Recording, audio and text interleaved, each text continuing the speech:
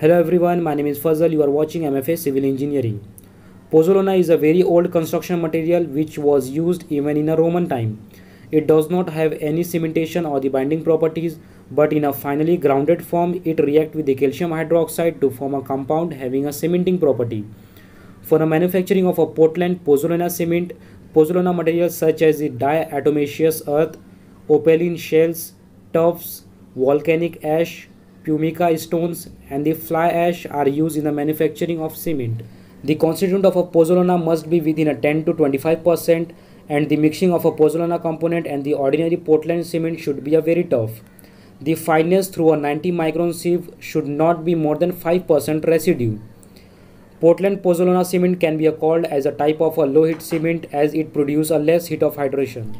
It has a more resistant to attack of a aggressive weather and reduce a leaching of a calcium hydroxide when used in the hydraulic structures.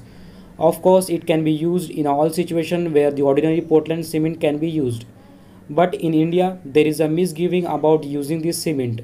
This is unjustified as long as the interior pozzolanic material are not used. Portland pozzolanic cement is mainly used in a hydraulic construction.